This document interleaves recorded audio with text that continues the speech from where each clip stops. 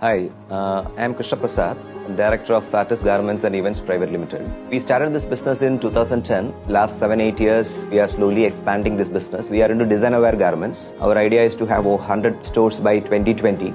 On that missions we are on and we are expanding. Right now we are in 8 locations for expanding one of the main requirement is finance okay?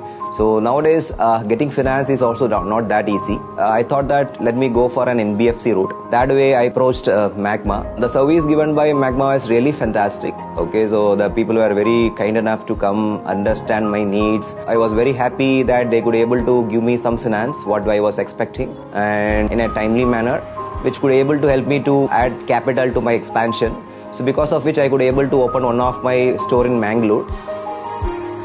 And uh, one good thing about uh, Magma is when I uh, came to know about the subvention letter, okay, though their uh, manager approached me with their subvention letter, I was really excited because uh, we know that getting loans from uh, NBFCs are slightly on a interest rate a little higher side, but still I have to use them I got 12,800 rupees a subsidy, which is really impacted positively towards my interest rate. And I know that it was uh, because of the support from Government of India, Ministry of Small Scale Industries and uh, MSME, Ministry of MSME.